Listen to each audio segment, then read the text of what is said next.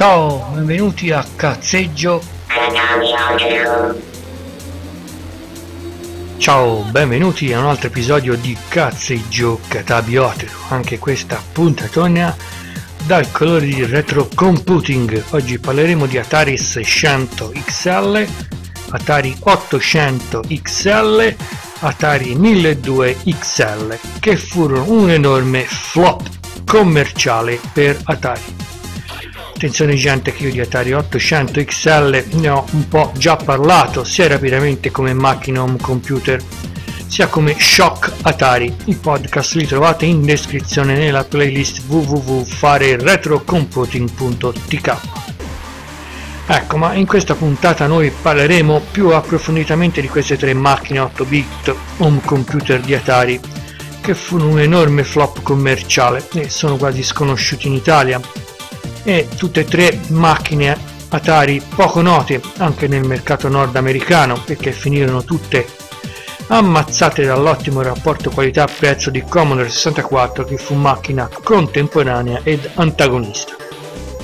Dunque, Atari 600 XL, 800 XL, 1200 XL furono tutte e tre macchine ad 8 bit, i successori dell'Atari 400.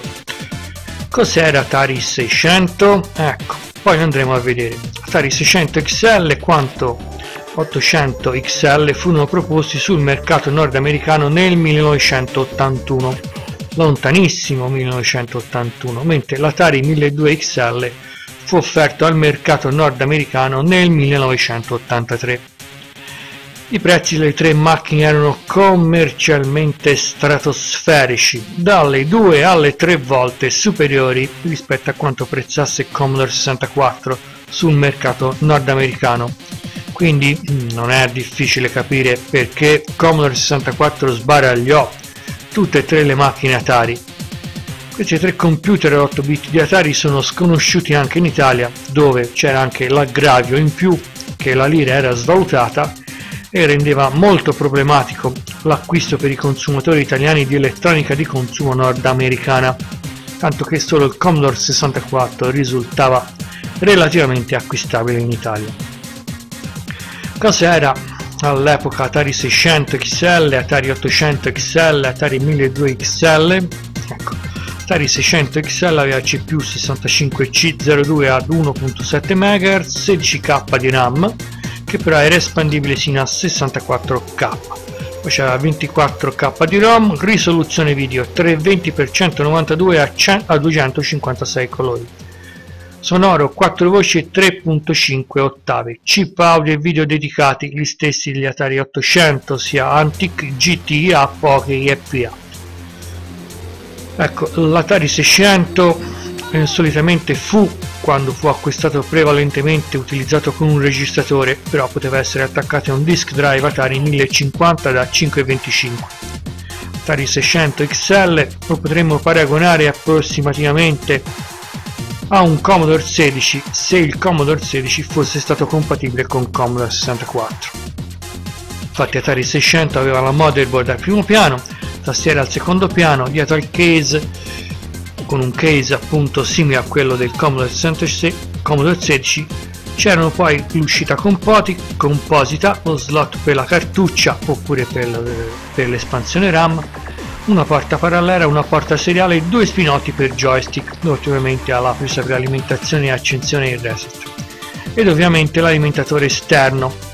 Questa macchina ne andremo ad osservare il suo manuale utente per renderci conto di cosa fosse l'Atari 600. Atari 800, ecco come potete vedere al video era un pochino diverso esteticamente rispetto ad Atari 600, però ecco aveva la stessa motherboard. Differiva Atari 800 XL da Atari 600 XL per il fatto che Atari 800 poteva essere espanso fino a 128k, mentre Atari 600 solo fino a 64, e inoltre Atari 800 XL era già venduto con 64k di eh, RAM e non i 16k dell'Atari 600 XL. Mi avviso ecco il case dell'Atari 800 XL è estremamente simile a quello del case del Commodore 64. Anche di questa macchina andremo a sbirciare il suo manuale utente per renderci conto un po' di cosa fosse l'Atari 800 XL. Atari 1200 motherboard simile a quella di Atari 600 XL ed, ed 800 XL ma ecco sopra la motherboard furono apposte modifiche hardware veramente oscene che causarono incompatibilità frequenti con Atari 600 e 800 Dunque, se potete vedere esteticamente il case di Atari 1200 era vagamente simile a quello di Apple II, ma Atari 1200 era ben lungi da essere un Apple II, nonostante Atari 1200 avesse la stessa CPU. Atari 1200 ingegneristicamente assemblato da dei dementi.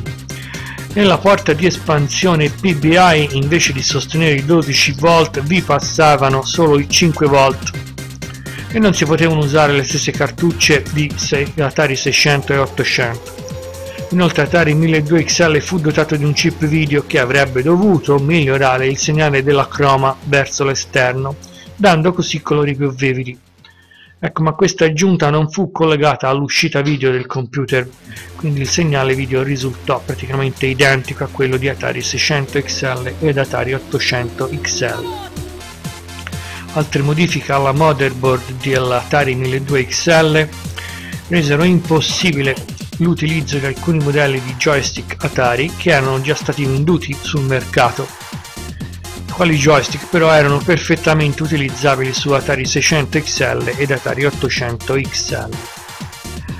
Altra pecca o oh, grave magagna di Atari 1200 fu che puntavano frequenti incompatibilità software con i programmi per Atari 600 XL ed 800 XL. Atari 1200 XL fu venduta al prezzo di 599.99 dollari. Non fu acquistata praticamente da nessuno in Nord America e eh, diciamo Atari 1200 XL restò quasi totalmente una macchina invenduta. Ecco, anche di questa macchina andremo a sbirciarne il suo manuale utente, giusto per renderci conto un po' di cosa Atari 600 manuale utente versione inglese. È cortissimo solo 24 pagine lo andremo a guardare rapidamente.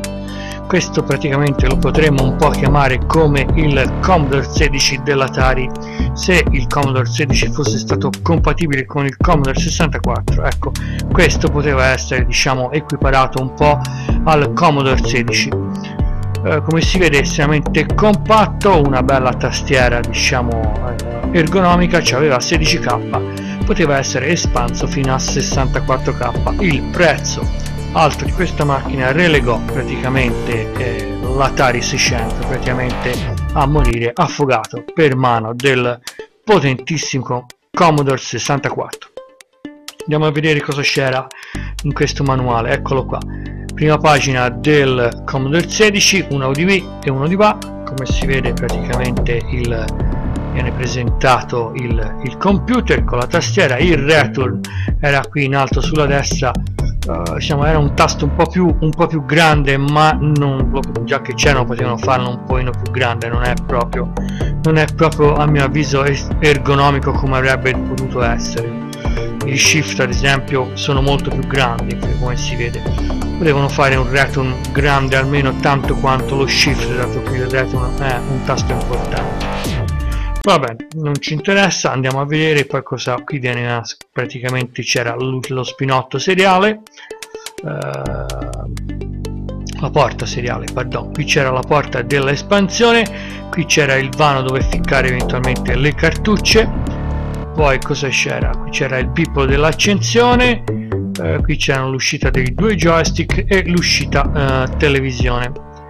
E, e voilà e questo era un po' tutto quanto. Qui spiega riprende un po' questo manuale è molto simile al manuale quello dell'Atari 400 estremamente corto quasi quasi un brochure. Qui spiega come collegare l'Atari 600 alla televisione quindi televisione di casa qui spiega un po' diciamo come eh, utilizzare la macchina e cosa servivano praticamente questi tasti diciamo tasti funzione che venivano inseriti qui nella tastiera che avevano specifiche funzioni. Uh, test della memoria uh, l'audio virtuale e via dicendo. Qui come inserire le cartucce ta, si inserivano così praticamente a incastro e già automaticamente si era a posto uh, poi vediamo un po' altre cose i vari comandi uh, a T questi ma questi diciamo prima eh, viene spiegata la tastiera cosa serviva il tasto CTRL e via dicendo quindi proprio il minimo essenziale di questo manualetto. Uh, come veniva spiegato c'erano chiaramente i tasti grafici le tasti font semigrafici pardon, dentro l'hash che questo riprendeva un po' la cosa comune con il Commodore 64 ma questo aveva 16k come il Commodore 16 anche il Commodore 16 aveva i tasti, semi, i, le tasti semigrafici. La tastiera era americana c'era praticamente la M qui niente da praticamente da dire. Poi qui ha un po' ha accennato un po' qualche comando diciamo del basic con le funzioni dell'editing che praticamente veniva, veniva fatto e con alcuni programmini proprio minimi essenziali da inserire per avere un minimo praticamente di soddisfazione poi si doveva comprare in sostanza libro a parte ma no.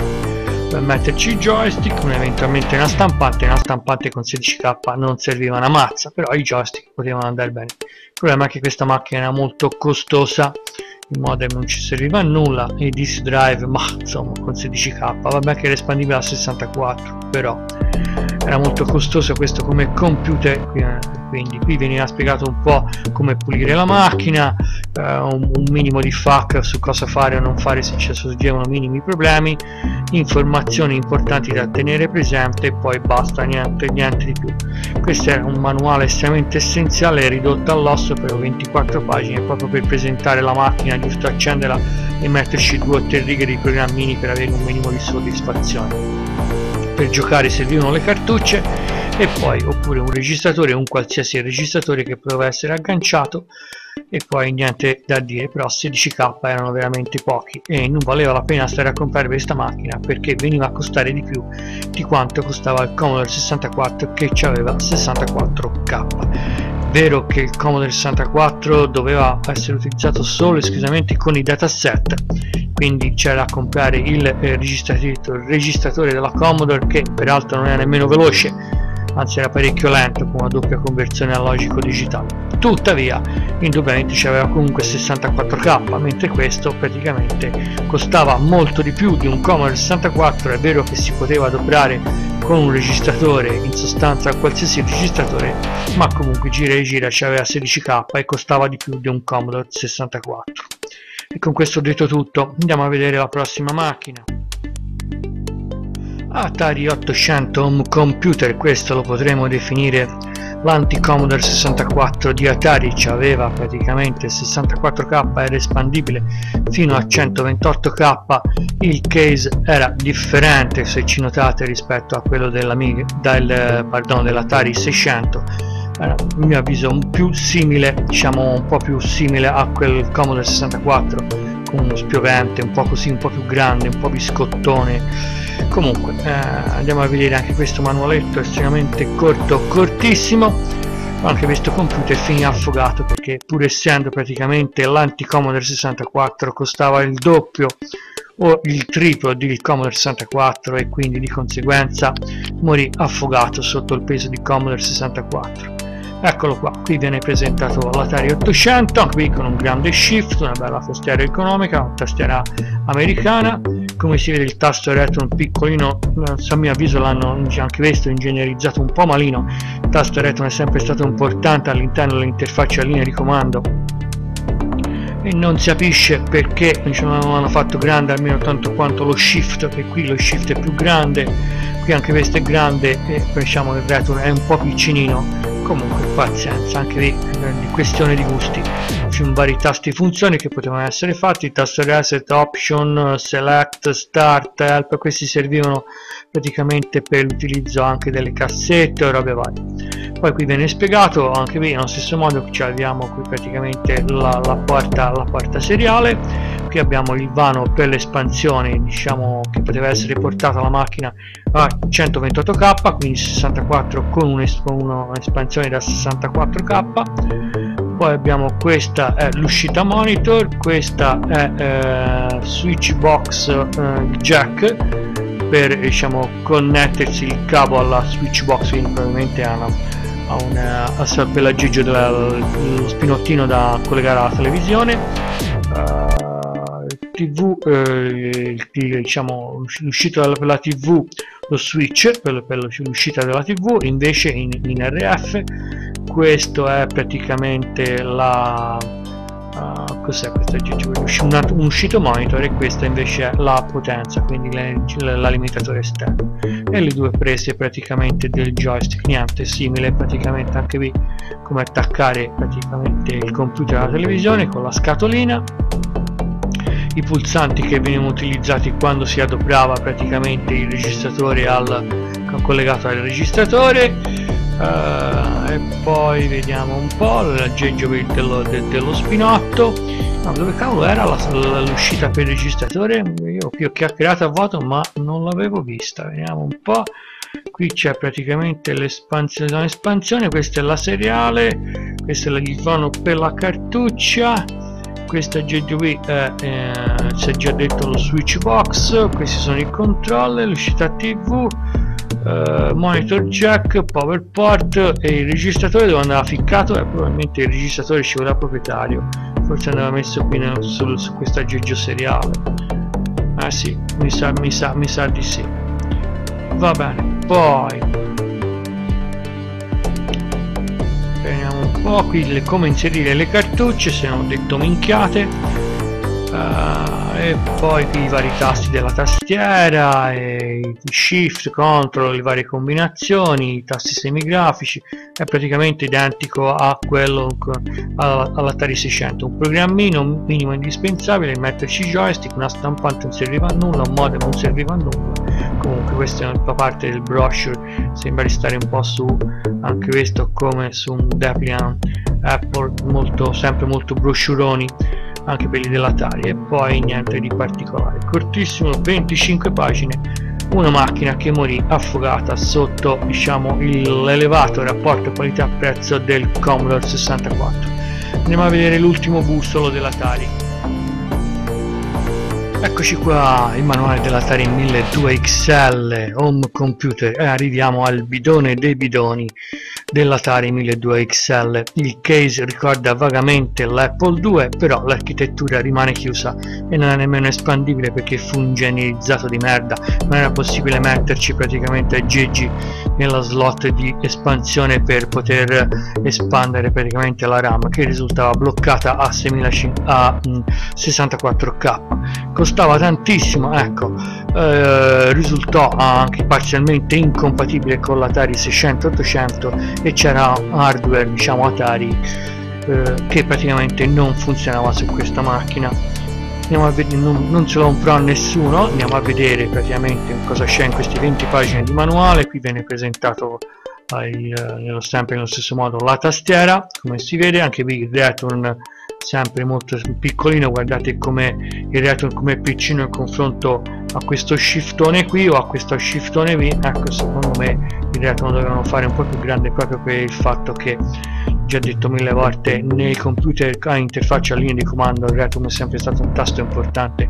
E a mio avviso su una buona tastiera ergonomica doveva essere molto grande ben visibile preferibilmente fatto a L rovesciata oppure a L eh, normale.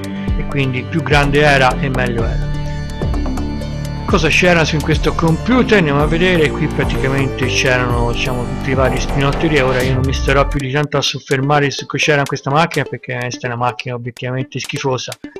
E indubbiamente vabbè cosa c'era? C'era una presa joystick eh, poi le due prese joystick il vario tasto il tasto di accensione. Una macchina schifosa perché incompatibile con parzialmente incompatibile con 800 e 600 costosissima ecco no, la presa tv poi c'era porta seriale praticamente tutte le stesse cose dell'Atari 600 800 tranne che il fatto che il vano de, del, per metterci praticamente la roba in sostanza non, non funzionava va bene. Il vano cartucce era ficcato qua da questa parte di qua se non vorrei dire non vorrei dire minchiate e poi cosa c'è? Veniva un po' niente attaccare alla televisione, anche lì i, vari, i vari tasti di comando erano messi lì, quindi c'è un inizio di utilizzo di tasti funzione che per riprendere diciamo invece che metterli in verticale qui vengono posti in alto riprendendo un po' quello che poi sarà e che era già all'epoca sugli IBM eh, qui si viene un po' spiegato un po' cosa c'era da fare la tastiera qui viene di nuovo presentata sono tutti uguali l'editing del, del MOI del dell'interprete a linea di comando con le varie funzioni dei tasti questa è la tastiera, la tastiera con i caratteri semigrafici i font se ci si poteva mettere c'era l'incompatibilità software con compatibilità software con uh, vari giochi vari programmi per Atari 600 800 perché ci avevano messo mano qui sulla motherboard che non funzionava. In parte c'era incompatibilità sui programmi.